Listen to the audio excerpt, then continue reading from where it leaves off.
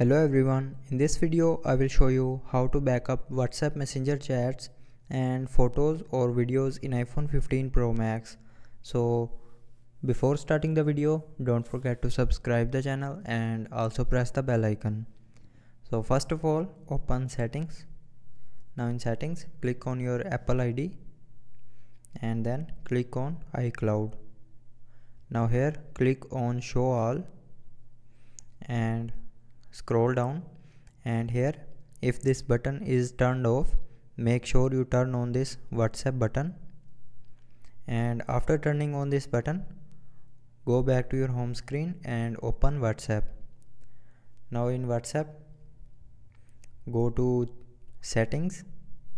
Now in whatsapp settings click on chats and then click on chat backup. Now here click on backup now.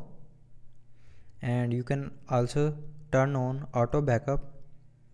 Uh, it will automatically back backup after week, one week or monthly or you can also set it to daily backup. So and uh, you can also include videos in the backup if you want to include. And after turning on auto backup it will automatically backup your all data daily weekly or monthly.